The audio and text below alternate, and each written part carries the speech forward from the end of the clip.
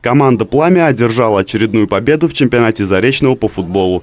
27 июля на искусственном поле Центрального стадиона игроки специального управления Федеральной противопожарной службы номер 22 встречались с командой «Надежда». Игра проходила на встречных курсах. Обе сборные жестко боролись за мяч, пытаясь заставить соперника ошибиться и открыть счет в матче. В этом больше преуспели пожарные, распечатав ворота «Надежды» в конце первой половины матча. Начало второго тайма прошло под диктовку футболистов команды «Пламя». Пожарные точными передачами со своей половины поля выводили нападающих на убойные позиции, а те не заставили ждать забитых мячей. 3-0 уже в середине второго тайма. Но пропущенные мячи не сломили надежду. Команда ринулась отыгрываться и к концу матча забила таки два мяча. Надежда могла сравнять счет и даже выйти вперед, но времени на это не хватило. Итог встречи 3-2 в пользу команды «Пламя».